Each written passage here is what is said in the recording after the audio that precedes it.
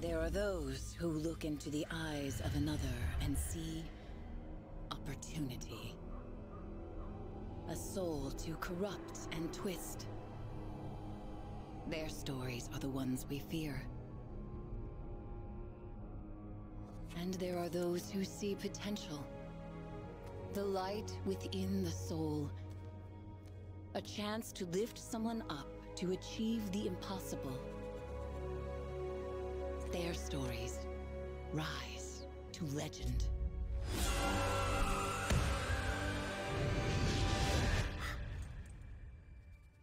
So tell me,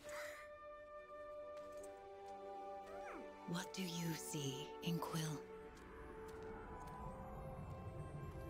Because her story depends on you.